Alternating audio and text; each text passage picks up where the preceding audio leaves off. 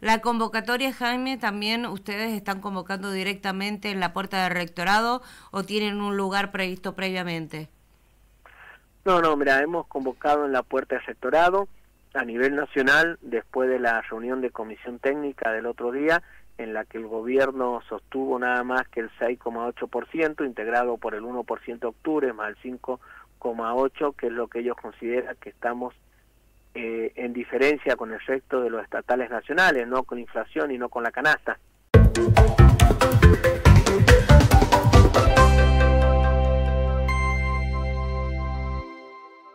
está convocando a este abrazo simbólico para hoy a las 11 de la mañana. Jaime, muy buenos días, ¿cómo está?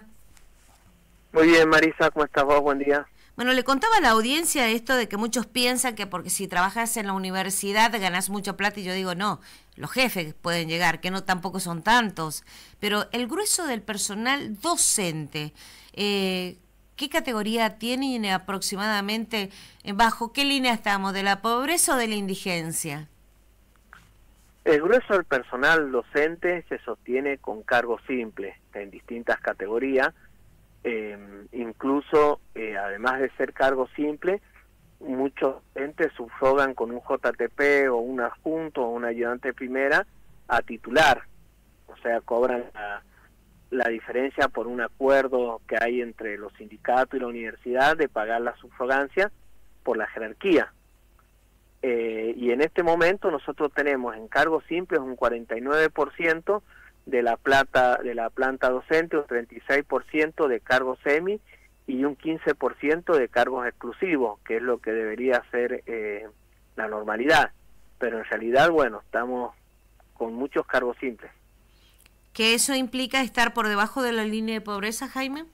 ¿Cuánto está ganando un simple? Sí, porque un cargo simple se le paga un equivalente a 10 horas eh, de trabajo trabaja mucho más porque vos tenés cargos simples que están al frente de dos o tres cátedras o están al frente de una cátedra y hacen investigación, extensión.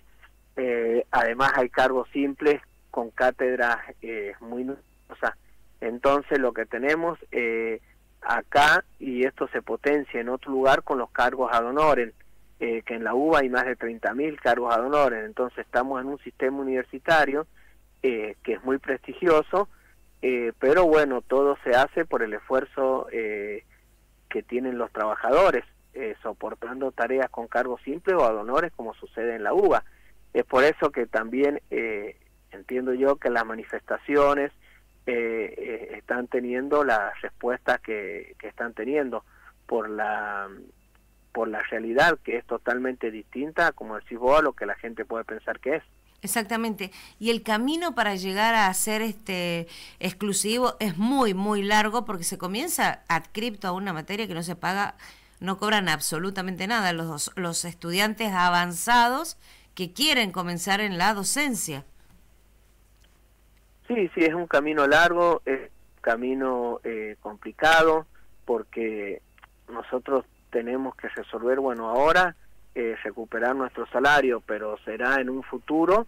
Hay que resolver el tema de eh, la cantidad de cargos simples, hay que tratar de resolver el tema de la exclusividad, eh, pero bueno, cuando al gobierno actual, por darte un ejemplo, se le iba a pedir desde la universidad mayor cantidad de cargos o la mejora de cargos a través de los planes de mejora que suelen existir con todos los gobiernos, que este lo ha eliminado, tenemos que decir que es el, es el aumento de dedicación eh, de simple a semi, de semi exclusivo, en función de cierta antigüedad y categoría, eh, resulta que, bueno, que el gobierno te dice que por la cantidad de alumnos que hay, eh, no pueden mejorar, entonces no es un gobierno que estaría entendiendo o, o, estaría interesado en entender cómo se debe desenvolver la educación y cuáles son todas las funciones que tiene nuestra universidad en investigación, en creación, entonces que por ahí hay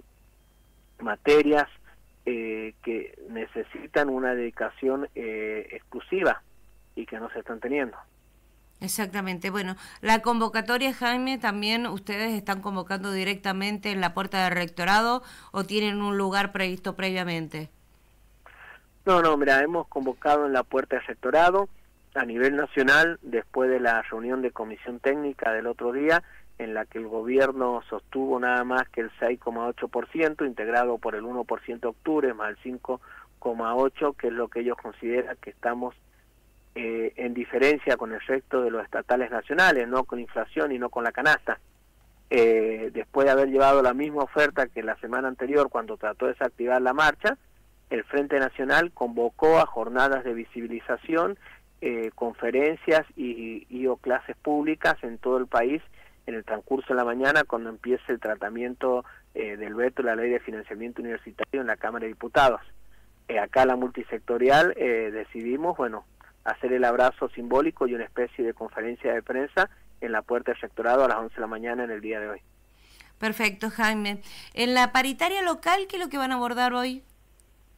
Mira, en la paritaria local eh, nos hemos estado reuniendo por regularización del artículo 73, eh, por distintas eh, problemáticas eh, que han habido sobre algunos concursos y sobre un tema de una cuestión del trabajo de los jefes de talleres y distintas cuestiones que hay en el colegio, en la escuela industrial y en la de comercio. Eh, hay un avance importante que ha salido desde los trabajadores, que de los de los docentes que trabajan en esas áreas, que la universidad ha aceptado, entendido cuál es la situación, eh, y no pudimos terminar en la, la redacción del acta y una serie de cuestiones en la paritaria anterior hubo que hacer unas modificaciones, así que ahora eh, se junta la paritaria para terminar de arreglar eso y bueno, ya poder implementar ese acuerdo paritario. Perfecto. Bueno, muchísimas gracias Jaime y nos veremos a las 11 de la mañana en la puerta del rectorado. Que tenga usted un buen día. Bueno, hasta luego Marisa, que te vaya muy bien. Bueno, ahí pasaba la palabra de Jaime Barcelona, que por un lado está el conflicto nacional, esto de saber si se va a vetar o no, lo más por, probable es que se vete la ley de financiamiento universitario, con todo lo que ello implica. Y